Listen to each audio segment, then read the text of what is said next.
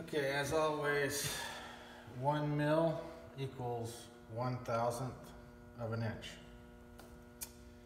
Uh, discovered something pretty interesting recently, and um, I've got it set up here to show you.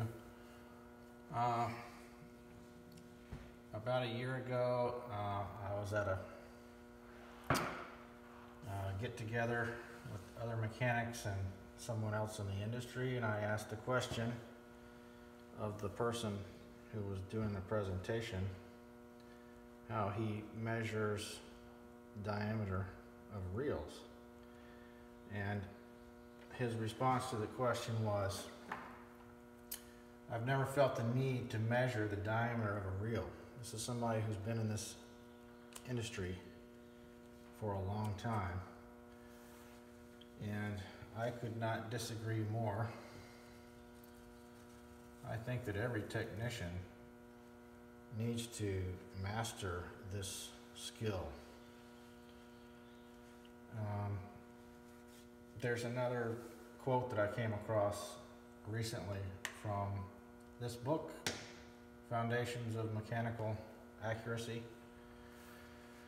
And the quote is Basic to man's behavior is his ability to determine, modify, and adapt to his environment. And when I saw that, what immediately came to mind was this word here determine. And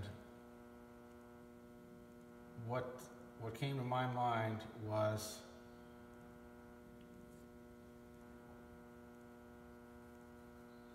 the word measure.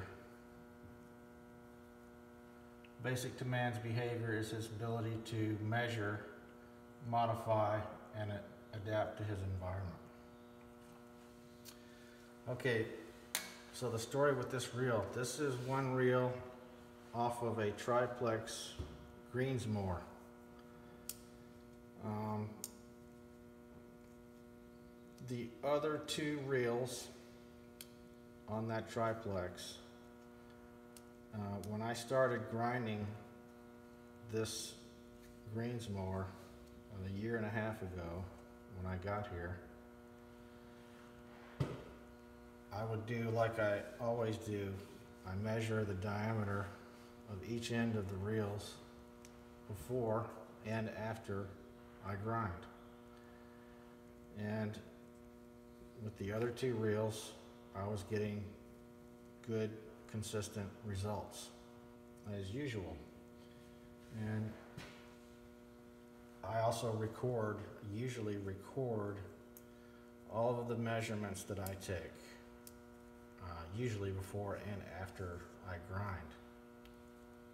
Um, I write it uh, with a Sharpie on top of the unit itself. And one of the other two units, which I was having good results with throughout the first few months, here's some of the measurements that I was getting. The first measurement that I took on one end was 4.649, on the other end was 4.651 for a difference of 2 mil. And that was those measurements were taken with a pi tape right here, about halfway in between these two spiders, and then same thing on this end, halfway in between the last two spiders. And then the next time I measured, I got 4.640, 4.639 for a difference of one mil. then um, there was a little bit of a gap, but the uh, the measurements that I wrote down were not legible. And uh, then there was a, a measurement of 4.611, 4.610 for a difference of one, and so on. So before and after I ground the reel, I was getting a difference in diameter from here to here of either two or one. And that's typical. This reel right here, These are the measurements that I was getting before and after grinding. 4.884, 4.893 for a difference of 9. and that was here to here.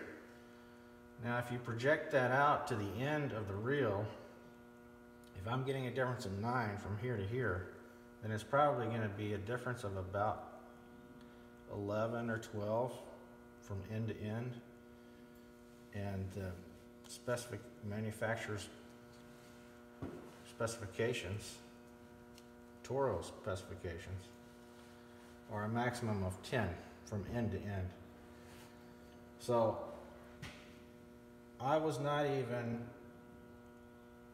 grinding this reel to specifications sometimes. And I- was getting some erratic results. You can see a difference of 9, 3, 4, 11, 6, 4, 10, 5, 10. And the first few measurements, the, the bigger end was on this side. The other measurements, the bigger end was on this side.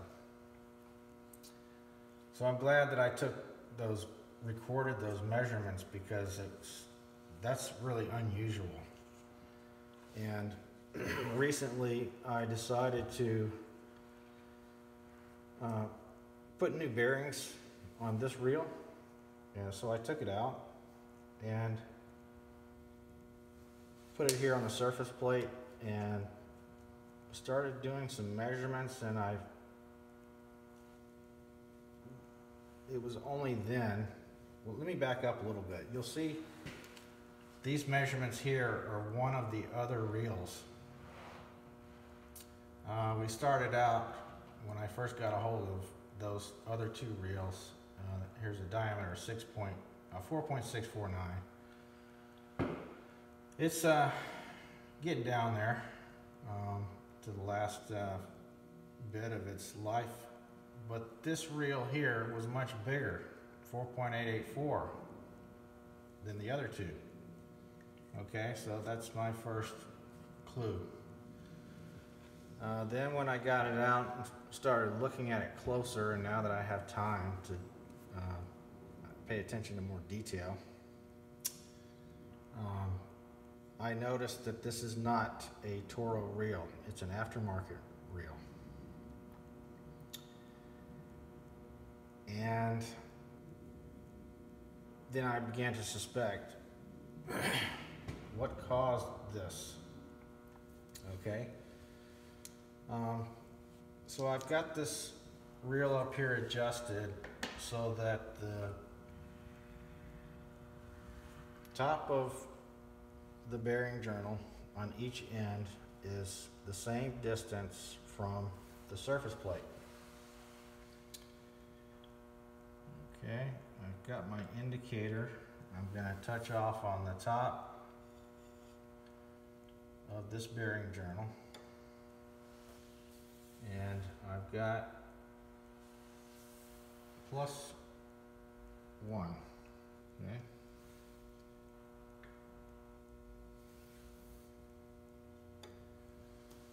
Move it around a little bit. I've still got plus one. I'm going to zero that.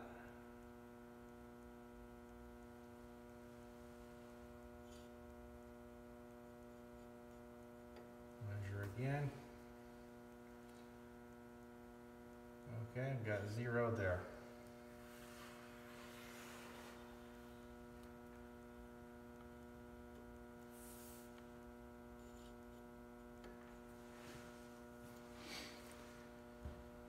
And I have minus one and a half here.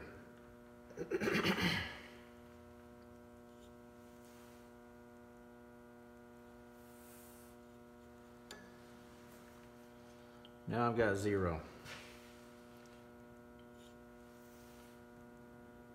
So my readings are pretty close, pretty consistent as I move this gauge around.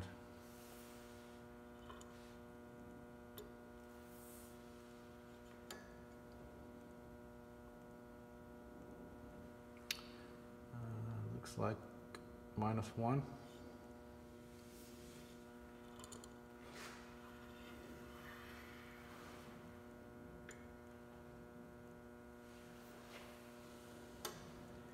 And zero.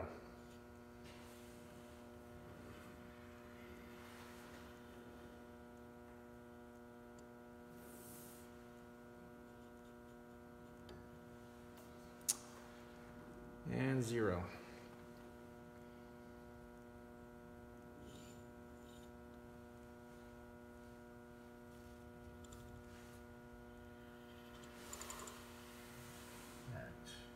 Down here to the point where I usually measure with the pi tape in between these two spiders.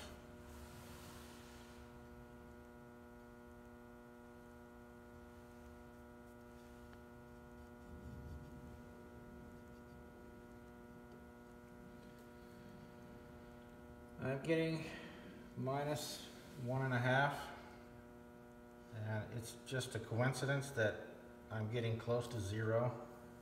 Uh, because this, the diameter of this shaft is much bigger than the, the bearing journal down here. So it's just a coincidence that I'm close to zero. Alright, minus uh, one and a half, so I'm gonna zero that.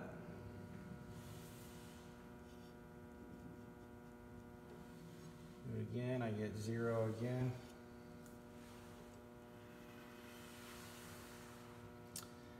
Down here to the left side.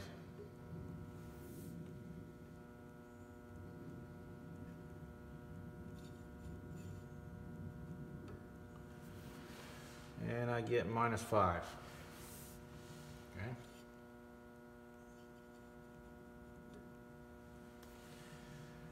Minus 5.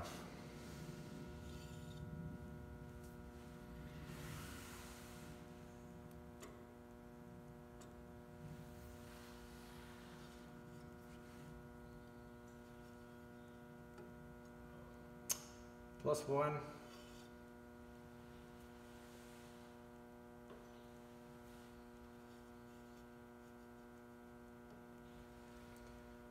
Plus one half. I'm going to go back to my bearing journal.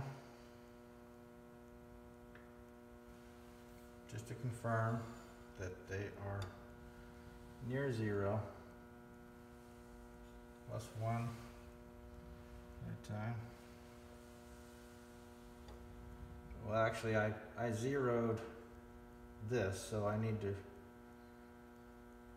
I should not get zero. I should get something pretty close to zero. So um, I've got plus one. I'm going to zero that out.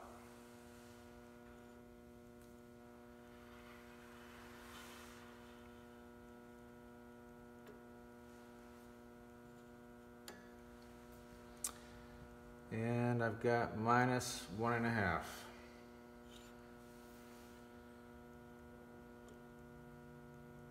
So my readings change a little bit as I angle this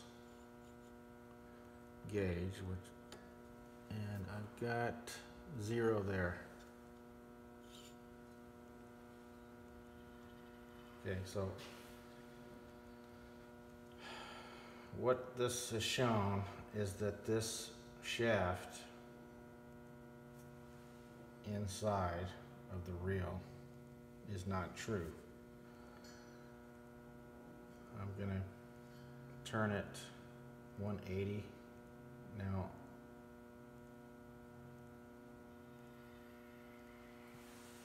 We go back to our zero point or our original point that we indicated here because I need to re-zero the gauge on the the black part of the shaft.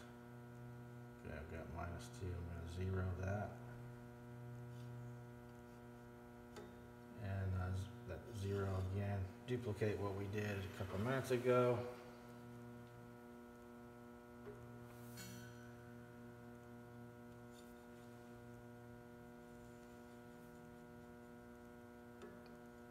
And minus five. that's what we got a couple minutes ago, on the shaft inside of the reel, which obviously is not true. Uh, there's five mil run out at those points. I'm going to rotate it about 180.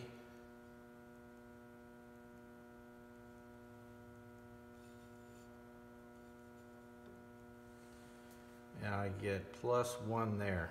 Well, I just got minus five on the other side. So there's about six mil run out right there. Or the paint thickness is causing that difference. Okay, I just got mm, uh, plus one there on that end. I'm I'm getting minus one and a half there, which is not much difference. But minus two, minus three, minus two, go back uh, 180.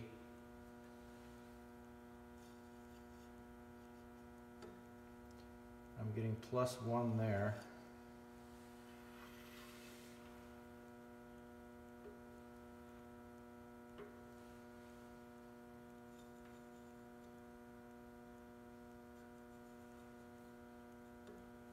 And minus five there. So.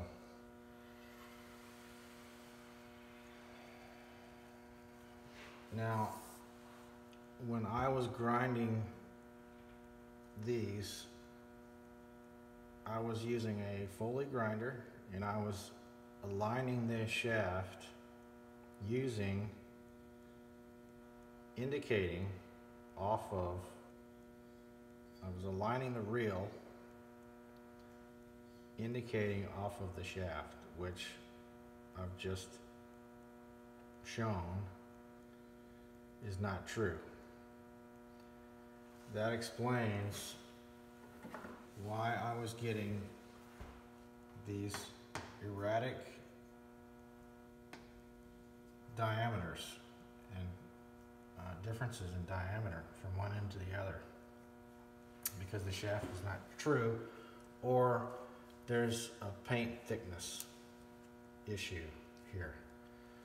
Now the other two reels where I did get consistent readings and good results, a maximum of two mil difference.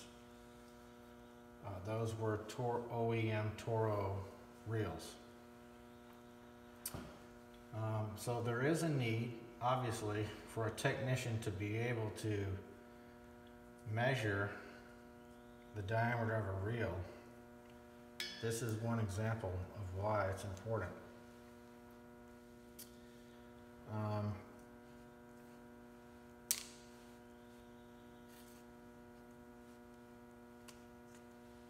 in another video, I will explain how to measure the diameter of a reel using the surface plate instead of using a pi tape.